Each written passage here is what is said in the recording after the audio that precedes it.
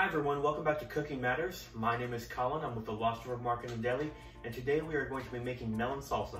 The ingredients for today's recipe will be a cup of cucumber, some cilantro, a fourth cup of lime juice, a jalapeno that has been halved, had all the seeds taken out of it, a cup of onion, a melon, and a tablespoon of sugar.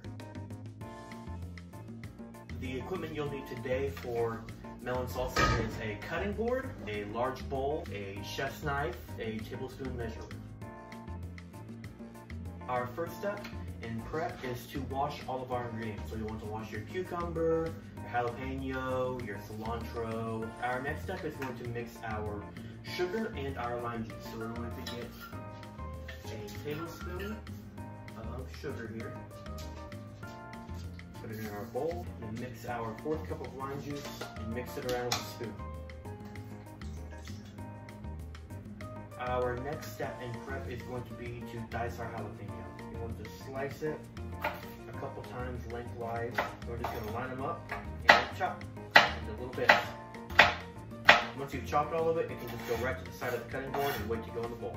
Our next prep is going to be to cut our cilantro. So you want to cut off um, anything that's holding the cilantro together or um, like the hard woody part of the cilantro. once we just have the leaves together, we're going to go ahead and just chop this up into a pile. Next is going to be our cucumber. You're just going to want to slice off each end. If we're going to slice it in the middle and then slice those two halves lengthwise. Then lay those down, slice those lengthwise again. And so you can go ahead and just rock your knife back and forth on that twice halves length of cucumber, and you'll be left with little pieces like this. Our next prep is going to be our red onion. We're going to slice off one end, set that off to the side, slice off the other end, set that off to the side, and then make a cut lengthwise along the side of the onion.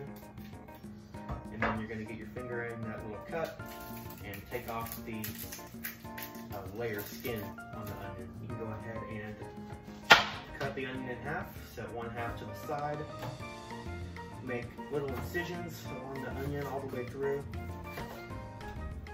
and then we'll make one cut through the onion like so, and then we can just go ahead and rock our knife along it like this, so we'll get nice little chunks of onion. Once we have all of these ingredients prepped, we can go ahead and bring our bowl around and throw all of these prepped, chopped ingredients into our bowl. And then with clean, washed hands, we can mix these ingredients around in the bowl. Our next step is going to be our melon. We're going to go ahead and slice our melon in half, like this. We're going to take a spoon and take all of the seeds out of our melon. Once you have scooped all the seeds out of your melon, you can go ahead and halve it once again. So you have a wedge of melon and then you can go ahead and cut along the rind just to get like the meat of the fruit out. Once you're done, you should have a piece like this, and then you have the rind left by itself. Now once you've got this off, you can go ahead and slice it lengthwise a few times,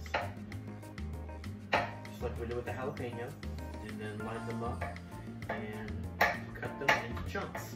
And then throw that into the bowl. Once we have all the ingredients mixed in the bowl, can go ahead and mix them all together. It should come out looking about like this. Beautiful.